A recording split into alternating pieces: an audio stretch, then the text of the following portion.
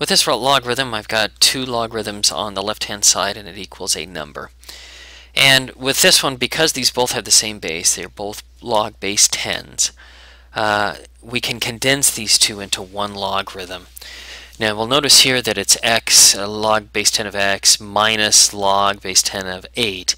Because of this subtraction sign, what that basically means is that we're going to do division when we combine those two using our laws of logarithms.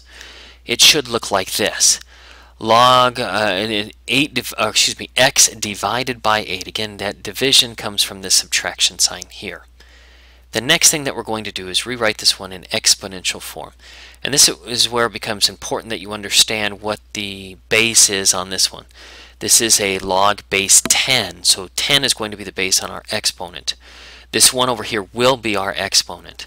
So if I convert this this will be 10 to the first power equals x divided by 8 now, and again, that 10 came from log base 10 here. It's not written, this is kind of the shorthand, if you will, of mathematics. Okay, so now we need to simplify the left-hand side. This is 10 to the first power, which is 10, equals x divided by 8. Okay, and now we have to uh, solve it for x.